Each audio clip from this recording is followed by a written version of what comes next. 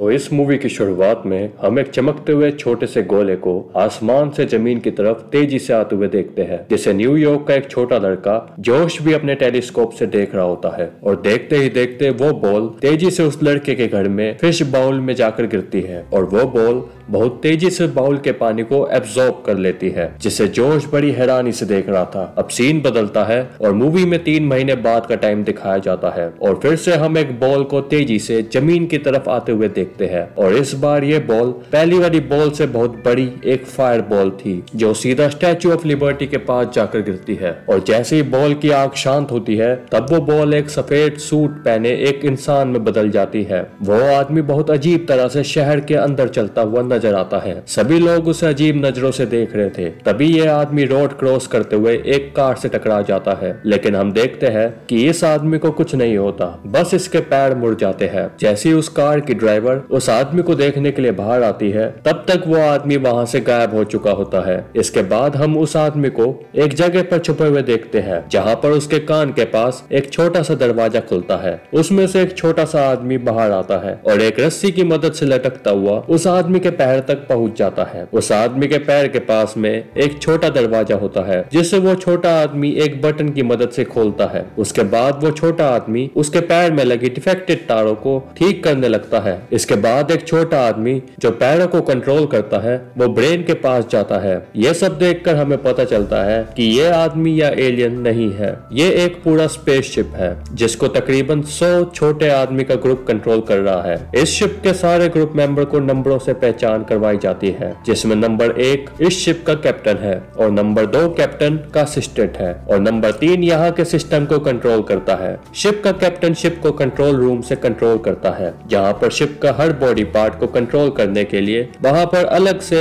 छोटे एलियंस थे, जो हर मूवमेंट की रिपोर्ट कैप्टन को देते थे। जहाँ पर कैप्टन को सिस्टम इंजीनियर बताता है कि एक्सीडेंट की वजह से ये शिप अभी नहीं चल सकती और इसका ट्रैकिंग सिस्टम भी खराब हो चुका है। लेकिन दो तीन दिन में शिप ठीक हो जाएगी। अब यहाँ पर कैप्टन सभी क्रू मेंबर के साथ मीटिंग करता है, जिसके बाद हमें पता चलता है कि ये किसी दूसरे प्लेनेट से आए हैं। इनके प्लेनेट पर रिसोर्सेज खत्म हो चुके थे और जल्द ही इनका प्लेनेट खत्म होने वाला था। इनको अपने प्लेनेट को बचाने के लिए सी वाटर की ज़रूरत थी, जिसे ये हमारी अर्थ से लेने के लिए आए थे। ये सी वाटर इनके प्लेनेट को कई सौ साल तक एनर्जी दे सकता है, और ये सब उसी बॉल से कलेक्ट करने वाले थे। जिस बॉल को हमने मूवी की शुरुआती में देखा था, उस बॉल का नाम ऑर्ब था, जो अर्थ में आने के बाद गुम हो चुकी है, जिसे ढूँढने के लिए ही इन्हें अर्थ पर आना पड़ा था। अब हम देखते हैं कि जोश अपनी खिड़की से उस शिप को देख लेता है और जल्दी से अपनी मम्मी को आवाज़ देकर अपने पास बुलाता है। हम देखते हैं कि ये वही लेडी है, जिसकी कार से उस आदमी का एक्सीडेंट हुआ था। जोश और उसकी माँ जल्दी से उस शिप के पास आते हैं और वो लेडी शिप के पास आके सॉरी मांगती है। जैसे शिप के अंदर के एलियन उस लेडी को देखते हैं तो वो सभी एक बार घबरा जाते हैं। वैसे तो ये शिप बाहर से इंसान की तरह ही दिखती ही, पर एलियन को ये नहीं पता था कि वो इंसानों की तरह कैसे बात करें, क्योंकि पहली बार इनका सामना किसी इंसान से हुआ था। तभी ये बात करने के लिए अपने कंप्यूटर पर सर्च करने लगते हैं, ताकि इंसानों के साथ बातचीत के तरीके को समझ सके और उस लेडी से बात कर सके। जल्द ही शिप का कैप्टन उस लेडी से बात करता है। दूसरी तरफ़ हम देखते हैं कि कुछ पुलिस ऑफिसर्स उस बड़ी बॉल को ढूंढते हुए क्रैश साइट पर पहुँच जाते हैं। वहाँ पर सर्च करने पर उन्हें मिट्टी में एक आदमी का फेस इंप्रेशन मिल जाता है, जिससे उन्हें ये पता चल जाता है कि वो इंसान कैसा दिखता है। इसके बाद पुलिस पूरे शहर में उसको ढूँढने लगती है और इधर वो ह्यूमन शिप उस लेडी से बात करने की कोशिश कर रही होती है। लेकिन जैसे ही वो शिप उस लेडी से बात करने की कोशिश करता है तो आवाज़ ज़्यादा होने की वजह से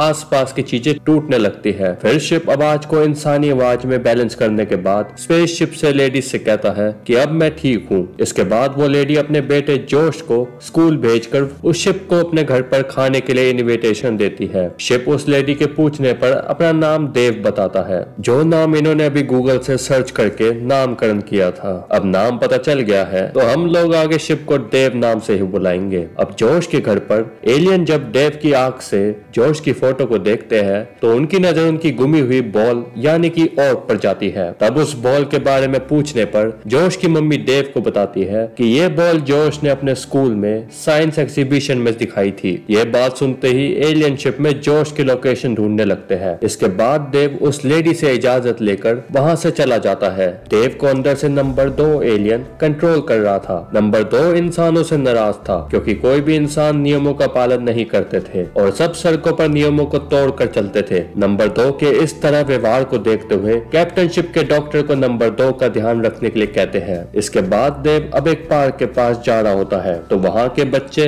देव की ड्रेस को देखकर आइसक्रीम वाला समझने लगते हैं और मज़ाक करते हैं। इसलिए देव अपने लिए कपड़े खरीदने के लिए एक मॉल में चला जाता है। अब यहाँ पर कपड़े खरीदने के लिए देव को पैसों की ज़रूरत थी। इसीलिए देव काउंटर पर रखे पैसों को अपने हाथ से स्कैन कर लेता है और ट्रायल रूम में जाकर बहुत स्टाइल से अपने शरीर से पैसों का बिल्कुल रियल प्रिंट निकालता है। नए कपड़े पहनने के बाद देव यहाँ से जोश के स्कूल पहुँचता है, जहाँ प्रिंसिपल देव को टीचर समझकर क्लास में भेज देते हैं। देव जोश को क्लास से बाहर लाकर पूछता है कि उसकी वो बॉल और कहाँ पर है। तब जोश बताता है कि उसकी क्लास के कुछ शरारती लड़कों ने उससे वो बॉल छीन ली थी, जिसके बाद जोश देव को उस लड़के के घर पर ले जाता है। पर वो लड़का उन्हें घर पर नहीं मिलता, जिसके बाद देव जोश के साथ जोश के घर पर आ जाता है। घर पर आने के बाद जोश को देव के साथ टाइम बिताना अच्छा लग रहा था। जब जोश की माँ देव को अपने घर पर देखती है तो देव को डिनर करने के लिए रोक लेती है। तब देव का कैप्टन ये बात मान लेता है, क्योंकि देव को बाहर अभी खतरा था। तब शिप का मेंबर नंबर चार कैप्टन को बताता है कि जितना टाइम हम इंसानों के साथ इस घर में रहेंगे, उतना ही हमारे लिए खतरा बढ़ता जाएगा। पर कैप्टन उसकी बात को अनसुनी कर देता है। इसके बाद देव को खाना खिलाने के बाद ये देव को अपने घर दिखाते हैं, जहाँ पर देव की नज़र एक पेंटिंग पर जाती है। देव उस पेंटिंग की तारीफ़ करने लगता है। तब जोश की माँ देव को बताती है कि ये पेंटिंग इमोशन और प्यार को दिखाती है। तब देव पूछता है कि जब प्यार होता है, तब कैसे पता लगता है? तब वो देव को बताती है कि उसका एहसास खुद ही होने लगता है। इस बात को सुनकर देव कुछ हैरान होता है। इसके बाद देव जोश के घर से निकल जाता है और आज की रात खुले आसमान के नीचे सड़क के किनारे गुजारने की सोचता है, जहाँ पर एक आदमी देव को सर्दी से बचने के लिए शोल दे देता है। ये देखकर देव के कैप्टन की सोच बदल जाती है और महसूस करता है कि इंसान बहुत रहम दिल के है और इंसान हमसे भी ज़्यादा विकसित है।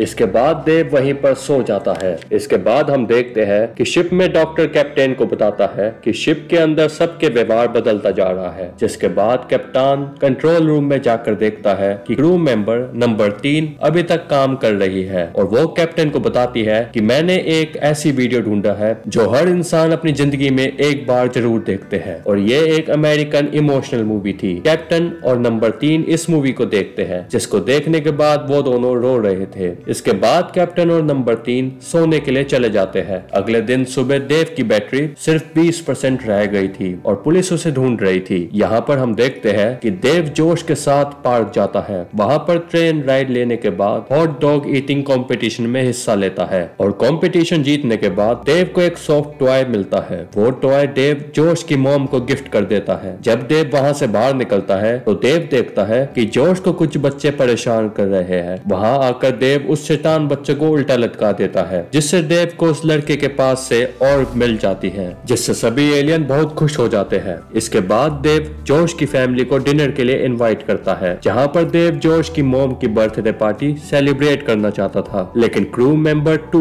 कैप्टन की इस बात से नाखुश था। वो कहता है कि अब हमें और मिल गया है तो हमें अपने मिशन को पूरा करना चाहिए। लेकिन कप्तान कहता है कि उन्होंने हमारे और बॉल को ढूँढने में काफ़ी मदद की है। तो अब हमें भी जोश और उसकी मोम के लिए कुछ स्पेशल करना चाहिए। यहाँ इंसानों के साथ रहकर देव के अंदर मौजूद एलियंस के अंदर भी फीलिंग्स आने लगी थी। वहाँ पर कुछ में अकड़ आ गई थी और कुछ डांस पार्टी एंजॉय कर रहे थे। और नंबर दो में गुस्सा दिखने लगा था। और नंबर तीन बहुत प्यारी सी ड्रेस पहनकर रेडी हो जाती है, क्योंकि नंबर तीन कैप्टन के साथ डांस करना चाहती थी। पर कैप्टन उसके साथ डांस करने से इनकार कर देता है, क्योंकि कैप्टन शिप यानी देव को कंट्रोल कर रहा था। और देव भी पार्टी में उस लेडी के साथ डांस कर रहा था। और नंबर तीन नाराज़ होकर वहाँ से चली जाती है और उसी समय पुलिस देव को अरेस्ट कर लेती है और शिप के अंदर सबकी बदली हुई हरकतों को देखकर नंबर दो को बहुत गुस्सा आने लगता है और नंबर दो शिप आर्मी को अपने साथ मिला लेता है और सबको मिशन पूरा करने के लिए बोलता है और सारे ग्रुप यहाँ तक के नंबर तीन भी नंबर दो के साथ मिल जाती है। उधर पुलिस स्टेशन के इन्वेस्टिगेशन रूम में देव के स्पीकर ऑन होने की वजह से पुलिस ऑफिसर एलियन की सारी बात सुन रहे थे। उनकी बातों को सुनने के बाद पुलिस को लगता है कि देव एक एलियन सोल्जर सोल्जर है।